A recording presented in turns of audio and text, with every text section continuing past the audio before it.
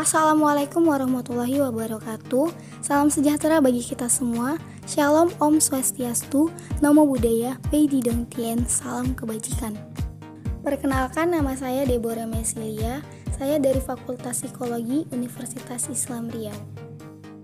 Pada kesempatan kali ini, saya akan menjelaskan apa itu persepsi sosial dan bagaimana cara kita memahami orang lain. Apa itu persepsi sosial? Persepsi sosial adalah upaya seseorang untuk memahami orang lain. Persepsi sosial itu berperan penting dalam perilaku sosial dan pola pemikiran sosial. Ketika kita memahami emosi seseorang, kita sering memanfaatkan komunikasi nonverbal seperti ekspresi wajah, kontak mata, gerakan tubuh, dan postur tubuhnya.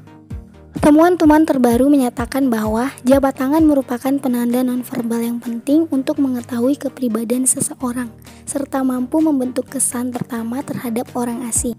Nah, maka dari itu, penanda nonverbal ini sangat penting sekali untuk kita mengetahui kepribadian seseorang.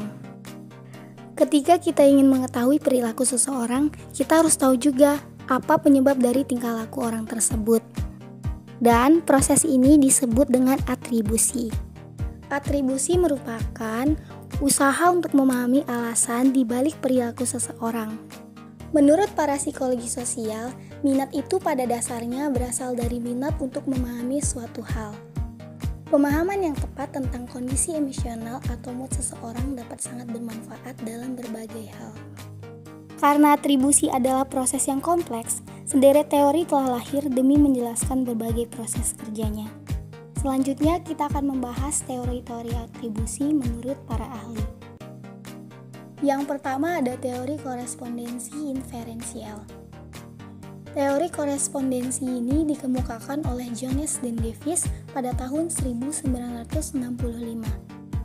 Dalam teori ini menyatakan bahwa mempertanyakan bagaimana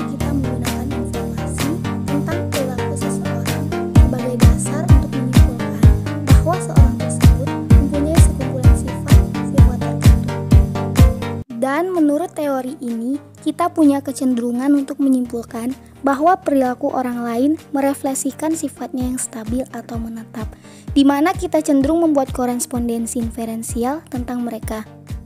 Ketika perilaku itu dianggap perilaku yang bebas. Yang kedua, memunculkan efek tidak umum yang membedakan. Dan rendahnya tingkat harapan sosial. Selanjutnya ada teori atribusi kausal. Menurut Kelly, teori ini berfokus pada pertanyaan tentang apakah tingkah laku seseorang bersumber dari faktor internal atau faktor eksternalnya.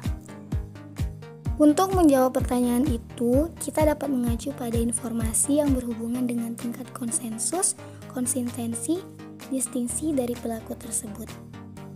Konsensus itu adalah derajat kesamaan reaksi orang lain terhadap stimulus atau peristiwa tertentu dengan orang yang sedang kita observasi.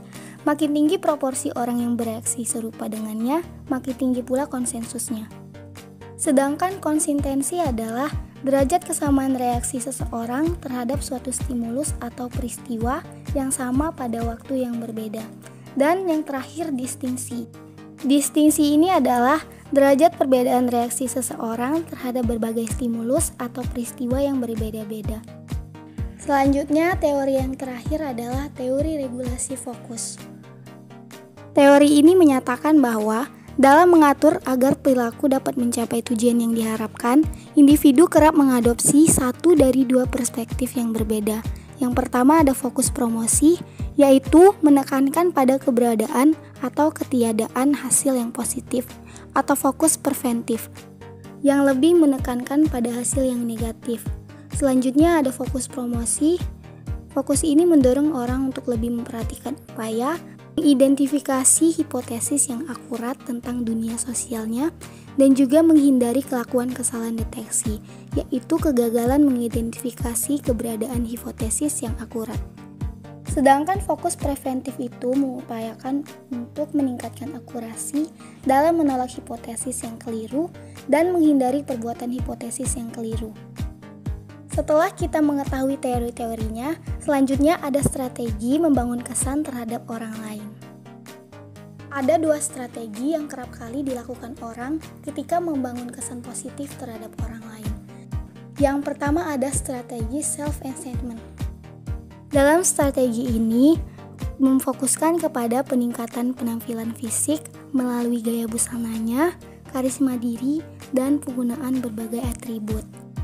Dalam strategi ini berusaha membuat deskripsi diri yang positif, misalnya seperti dalam menjelaskan bagaimana dirinya berhasil mengatasi berbagai kendala serta suka menghadapi tantangan.